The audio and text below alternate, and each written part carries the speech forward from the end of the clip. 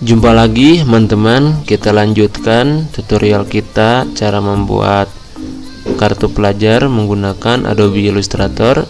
Di sini tampilannya seperti ini. Bagi yang mau silahkan nanti bisa di-download. Linknya ada di durasi ketiga menit. Kita langsung saja pada tutorialnya. Oke. Di sini teman-teman silahkan pilih dulu file terus new ya seperti yang biasa kita lakukan Satuannya di sini kita pilih milimeter ya. Di sini untuk lebarnya yaitu 50 maaf maksud saya 85 dengan lebarnya itu 55 mm. Tekan OK. Kalau sudah, teman-teman silahkan di sini dibuat untuk rectangle-nya. Kita drag saja dari ujung ke ujung sesuai dengan ukuran atau dengan kampasnya ya atau dengan adbotnya juga sama oke? Setelah itu teman-teman kita gunakan di sini ada pen tool ya. Oke selanjutnya kita buat satu buah line segment tool. Kita tarik teman-teman sedikit eh, menyerong ya dari kiri ke kanan. Setelah itu gunakan di sini ada direct selection tool ya. Kita pilih saja terus ke bagian atas ada convert selected core ya. Kita klik lalu kita tarik menjadi menggantung ya. Menggantung seperti ke bawah seperti ini. Yang ini juga sama kita gunakan ada convert selected ya. Lalu kalau yang ini kita naikkan ke atas seperti itu. Jadi e, bersilangan ya atau berseberangan. Yang ini naik turun ke bawah sedangkan yang ini naik ke atas. Oke setelah itu teman-teman e, silahkan buat lagi satu buah garis di sini. Bisa menggunakan pen tool ya. Oke bisa diklik saja di sini satu kali. Terus diklik kembali teman-teman ya.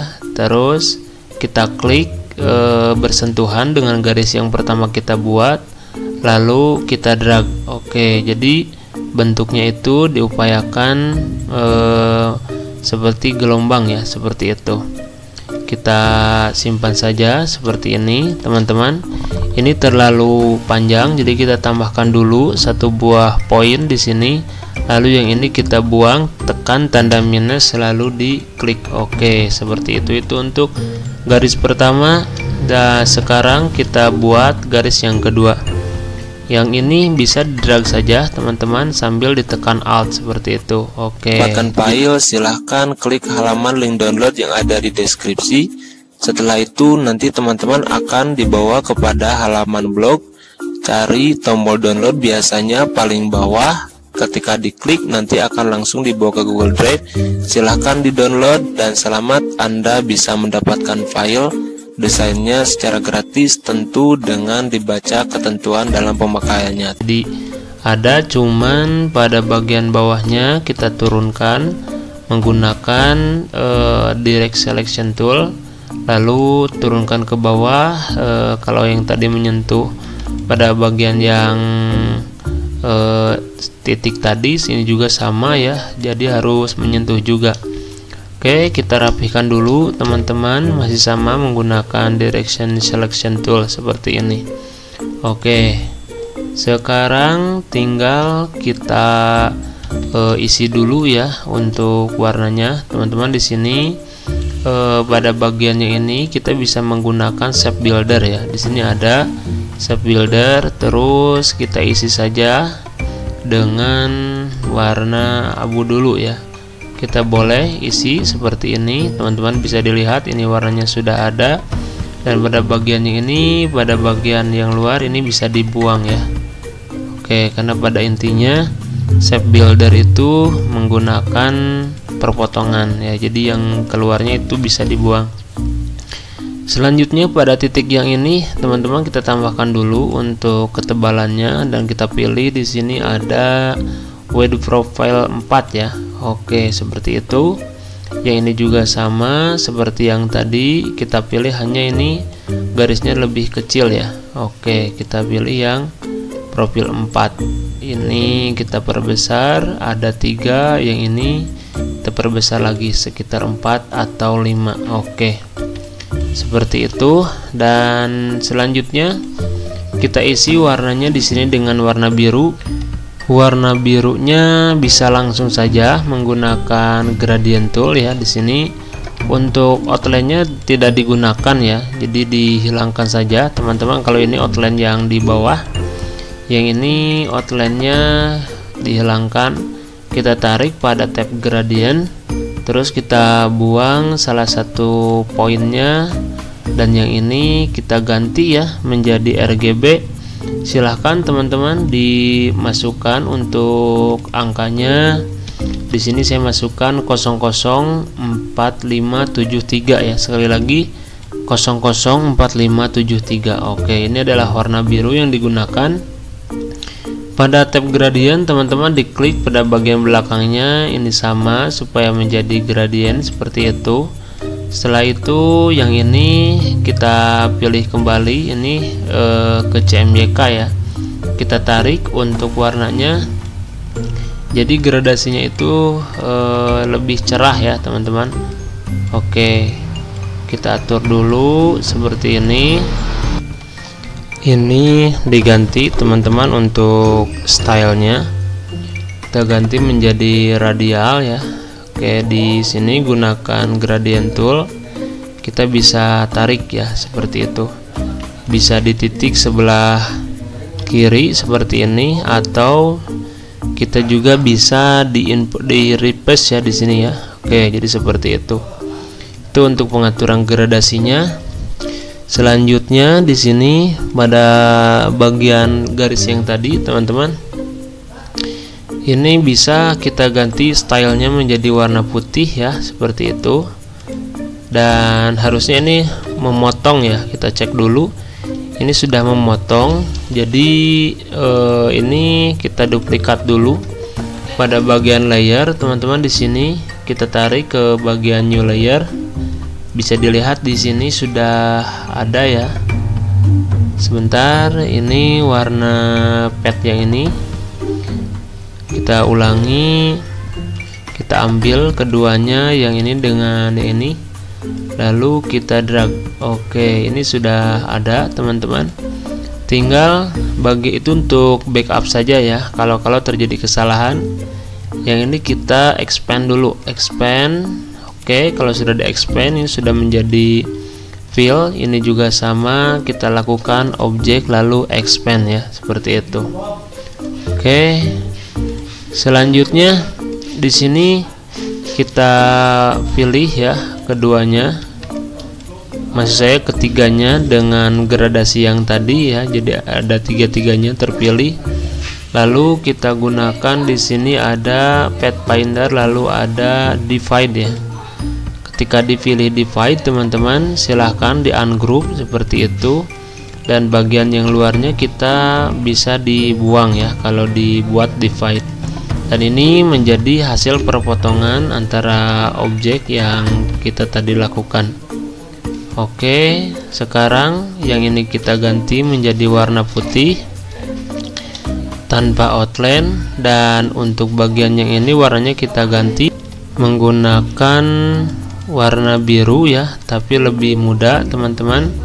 Untuk kodenya 4F BC E5 ya 4F BC E9 maksudnya 4 FBC 9 tekan OK saja.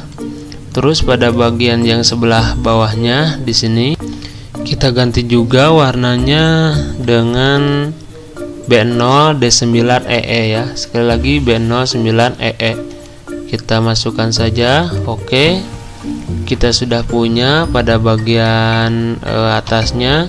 Sekarang kita masukkan pada bagian bawah teman-teman. Caranya sama saja. Yang ini kita seleksi dulu ya. Kita drag dulu ke bawah sambil menekan alt. Oke. Menggunakan move tool ya. Oke seperti ini. Lalu kita grup dulu. Setelah itu teman-teman kita transform lalu kita reflect. Oke pada bagian reflect silahkan dicentang untuk previewnya. Dan di sini refleks satu dulu. Dan sekarang kita transform refleks kembali menggunakan uh, di sini dipilih ya untuk horizontal. Oke tekan oke. Setelah itu kita rotasikan sedikit. Iya seperti ini teman-teman. Oke ini untuk bagian bawahnya dan tinggal pada bagian di sini bagian kiri pojok kita bisa menggunakan pen tool ya. Pen tool klik dulu klik lagi lalu kita drag. Oke seperti itu. Iya kita masukkan saja untuk filenya dan selanjutnya eh, kita gunakan rotate ya di sini rotate tool kita klik pada bagian eh, kirinya ya di sini. Jadi titik rotasinya dipindahkan. Di drag teman-teman sambil ditekan alt seperti ini. Oke seperti itu. Lalu kita perbesar. Kita perbesar dulu sampai si objeknya uh, itu harus berpotongan dengan objek yang di atasnya ya seperti itu. Sebentar ini tidak rapi. Harusnya seperti ini. Ini bisa kita rotasikan sedikit. Ini teman-teman asal eh, objeknya itu nanti terpotong ke bagian background ya. Oke seperti ini kurang lebih. Selanjutnya kita perbesar dulu iya kita naikkan. Oke. Tinggal kita pilih dengan background di sini ya. Lalu kita gunakan seperti yang tadi. Kita bisa menggunakan smart builder ya. Ini satu dan yang ini juga satu. Oke. Silahkan dibuang objek yang tidak diperlukannya oke ini juga sama ini juga sama tinggal dibuang saja. Ini juga sama tinggal dibuang. Sekarang yang ini kita gunakan eyedropper teman-teman tekan I ya. Lalu pilih oke. Sedangkan yang ini ditekan I lagi lalu dipilih lagi seperti itu. Nanti untuk uh, bentuk lainnya teman-teman bisa disesuaikan ya. Barangkali ini tidak seperti di thumbnail tapi kurang lebih pembuatannya teman-teman bisa melakukan seperti ini ya. Oke kita rapikan dulu sedikit. Iya tinggal yang bagian bawah yang ini kita drag teman-teman. Menggunakan line segment tool ya. Sebentar karena ini akan digunakan nanti untuk tanda tangan jadi kita eh, diperbesar ya untuk ininya untuk warna eh, apa ini birunya ya. Jadi kita diperbesar saja. Oke kita pilih line segment tool. Lalu kita seleksi dengan bagian yang di bawah dan kita pilih divide. Kita ungroup buang saja yang ini lakukan hal yang sama dengan menggunakan line segment tool seperti yang tadi. Tekan D simpan di bagian kanan dan pilih lagi ya bagian luarnya dengan line segment toolnya lalu dipilih divide kembali. Ungroup lalu dihapus. Oke seperti itu. Kita sudah punya untuk bagian depannya. Sekarang kita menuju ke bagian belakang di sini tinggal kita copy artboard saja teman-teman. Di drag dulu lalu copy artboard otomatis kita sudah punya pada bagian belakangnya. Untuk bagian belakang yang ini kita singkirkan dulu lalu kita gambarkan teman-teman di sini dengan tekan I lalu di copy ya. Untuk bagian dasarnya yang ini bisa diperbesar atau diganti menjadi linear oke kita paskan saja. Lalu pada bagian atasnya di sini teman-teman ini dibalikan ya. jadi yang ini adalah warna putih ya seperti itu. Oke dan tinggal kita simpan di bagian atas di sini. Jadi ini hanya mengapit saja gunakan Ctrl Shift kurung kurawal kanan supaya ada di atas seperti itu lalu kita rotasikan. Oke. Iya tinggal lakukan hal yang sama untuk bagian bawah di sini. Di drag sambil menekan alt pilih transform pilih reflect dan kita uh, pilih di sini vertikal dulu terus kita transform kembali dan kita oh sorry. Harusnya transform dipilih reflect dan kita pilih oke. Okay. yang ini disimpan ke bawah seperti itu disimpan seperti bagian yang atas teman-teman. Oke okay, seperti itu. Setelah itu bagian yang tengah di sini yang warna dasar kita copy paste Ctrl C Ctrl F ya. Sekali lagi Ctrl C Ctrl F kita naikkan ke atas dengan Ctrl Shift kurung kurawal kanan ya. Dinaikkan ke atas dengan Ctrl Shift kurung kurawal kanan. Silahkan dipilih bagian yang atas bawah kita grup terus bagian yang background yang jadi di atas itu dipilih seleksi semuanya. Lalu klik kanan dan make clipping mesh ya. Ini untuk bagian uh, belakangnya ya tinggal kita masukkan untuk teksnya. Teman-teman di sini bisa menggunakan bagian text tool ya atau tipe tool. Tinggal dituliskan saja. Apa yang mau dimasukkan di sini biasanya ada kop dan lain-lain ya. Saya supaya tidak terlalu lama teman-teman. Jadi saya sudah siapkan untuk datanya eh, tinggal di kopas saja ya. Kebetulan di sini datanya sudah saya siapkan jadi teman-teman nanti bisa meniru saja. Karena bagian tekstur ini eh, sepertinya mudah sekali tidak usah dijelaskan secara rinci. Pertama di bagian atas kita memasukkan data seputar sekolah ya. Ada pemerintah Kabupaten Tasikmalaya terus juga ada nama sekolah dan alamat sekolah selanjutnya di sini ada eh, data dari siswa ya. Data dari siswa sendiri kebetulan yang dimasukkan yaitu adalah NIS. Di sini ada NIS-nya teman-teman. Oke kita munculkan dulu. Ini untuk NIS terus nama juga tanggal lahir dan juga alamat ya. Selanjutnya ada tanda tangan e, sebagai kepala sekolah seperti itu dan nanti di sini tinggal dimasukkan untuk fotonya teman-teman bisa menggunakan ellipse tool seperti ini. Kita e, ambil saja warnanya untuk line ya. Di sini lainnya kita tambahkan sedangkan untuk e, tengahnya kita kasih warna abu dulu. Nanti teman-teman tinggal di clipping mesh saja ya. Oke kita sesuaikan dulu Iya, kalau sudah seperti ini, teman-teman tinggal dimasukkan untuk logo sekolah ya. Oke, sebentar ini ada yang ada yang tertinggal ini untuk di belakangnya. Ini untuk notif saja e, kartu ini berlaku ya.